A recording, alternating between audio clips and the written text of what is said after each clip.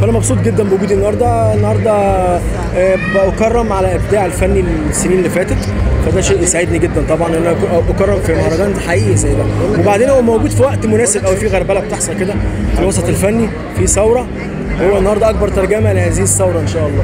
طب تعالى لي بقى عشان هو في الغربلة دي فيها قسمين قسم سويرس وقسم شاكر فأنت مع مين في الاثنين؟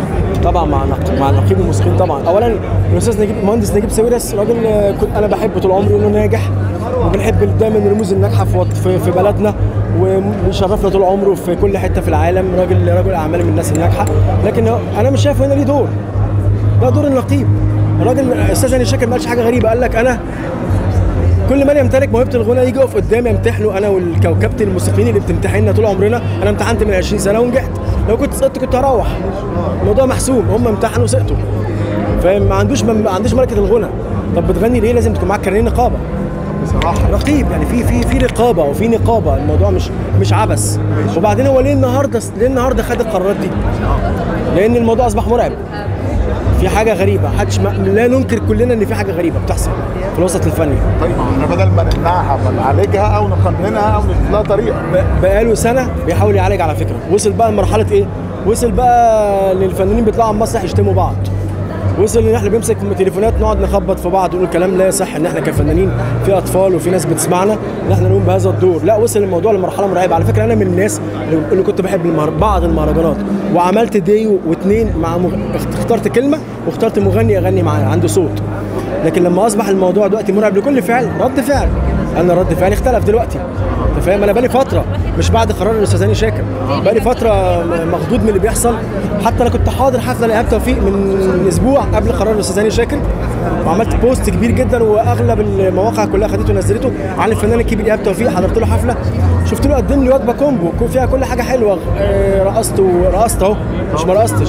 يعني مش لازم المهرجان بس هو اللي يرقصني ويبسطني على فكرة عشان في ناس بتقول لك إيه ده لون والناس إحنا بنفرح عليه. معلش أمي وأمي وخالتي وأبويا لما اتجوزوا في فرحهم الناس فرحت على فكرة ورقصت. ما كانش في حاجة اسمها مهرجان ساعتها. اذا يبقى في أغاني بتقدم ده في أغاني بت إيه اللي حصل؟ مش عارف. عادي لا عادي. السلك فصل؟ تمام. فصل آه اذا ال- ال- الأغاني اللي بترق اللي بترقص وبتفرحني موجودة طول عمرها. مش لازم هذا الشكل ال- ال- اللي بيخليني أبقى مغيب مش فرحان. أنت فاهم؟ بقى كده. هو بقى له 10 سنين موجود. وأنا كنت من الناس اللي عمري عمري ما قلت في لقاء أنا ضده. عمري. هاتي لقاءاتي كلها. دايما بقول أنا شايف منه في منه فنانين. وبيقدم حاجة. طيب. لو إحنا حاطين على الجبهة الثانية شغل التراب اللي بيحصل آه ويجز عفروتو وبتاع ما برضه مش أصوات آه، قوية. أنا أنا بص. ما تمنعوش. اللي ماليش دعوة بقى بالقرارات دي مش بتاعتي أنا. فاهم؟ أنا أنا أدعم. يعني أنا شفت أستاذ هاني الشاكر عمل موقف عجبني هدعمه. عمل موقف ما, عجبنيش أو أنا مش شايفه سليم أو شايف فيه حاجة غريبة هقول فاهم قصدي؟ ده دوري ك... ك... كمواطن مصري كفنان بيقدم فن بقالي 20 سنة بقدم فن وليا جمهور بحب الناس وناس بتحبني وفي ناس بتأثر بكلامي فلازم أكون حقيقي. آه أنا أنا ما شفتش حد قدم اولا ما اسموش راب حتى مسميه تراب. أنا مش مش عارف أنا أنا عارف. أنا مش عارف حتى الكلمة دي جابوها منين. مش فاهمها. أنت فاهم؟ آه الراب أحمد مكي قدمه. ماشي؟ الراب طول عمره الراب الراب ده مزيكا أمريكاني. تمام؟ كانت دايما مزيكا اسمها مزيكا اسمها مزيكا اجتماعية. بتبعد بقى عن الشكل البوب أو الكلاسيك اللي إحنا بنقدمه. أنا بقدم أغاني حب وأغاني شجن واغاني هم كانوا بيقدموا حالات اجتماعية. أنا مش شايف بقى في ما يقال عليه تراب ده. ان في حاله اجتماعيه ولا أي حاجة وبرضه بيشتموا بعض وبيهاجموا بعض وبيخبطوا في بعض وحاجة. أنا مش شايف مش شايف انه حاله اجتماعيه مش شايف إن هو بيقدم لي حالة أحس منها إن في وضع اجتماعي معين فأنا ناقم عليه. ما, شفتش ده. فما عنديش إجابة مش فاهم. لسه بتفرج. لسه مرحله الفرجه برضه. طب أنت عايز تشاور للنقيب على حد؟ هتقول له دول كمان خلي بالك منهم؟ لا لا خالص. هو عارف. أنا هو هو هو أقدم مني بكتير. و- و- وراجل آه، فنان بجد.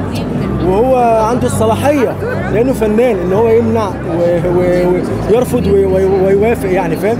لا طبعا ما ما مش هقدم له أي حاجة أنا شايفه ماشي صح. كمل طبعا. عندك جديد بقى ألبوم كامل بيجهز فعايزين نعرف تفاصيل بقى لا مش ألبوم مبقاش في حاجة اسمها ألبومات خلاص. بقينا بنعمل مجموعة أغاني وتنزل سنجلات برافو عليك لأن المنظومة اختلفت. عامل الحمد لله أغاني كتيرة.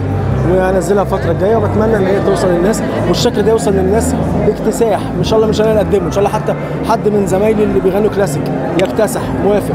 بس الشكل ده الشكل ده اللي إحنا بنحبه. ال- الشكل ده بيخاطب بيخاطب نفسيتك بيخاطب إحساسك. ما بيخاطبش عقلك بس. إحنا محتاجين ده. مش كل حاجة الاخصام والحكايات والروايات و... الواد عنده 14 سنة دلوقتي يقول لك اخصامي أكتر من صحابه. مش كده يا جدعان؟ حوارات. كلها اغاني مش اغنية ده حوار.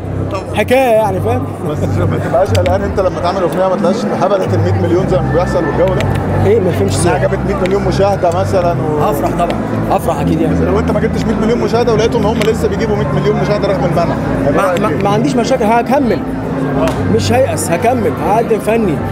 بص الصح صح والغلط غلط. يعني ده باين وده باين. والسليم بيمشي بيمشي في الآخر. إحنا بس نصبر شوية. بعدت عن التمثيل انت برضه فترة. آه لا والله ما بقول لك أنا مهتم أكتر بال- بالغنى الفترة أنا مغني مش ممثل. أساسا يعني. ف وحاسس ال- والناس بتحبني هنا أكتر. فأنا مش عايز أحترم هذا الرأي يعني.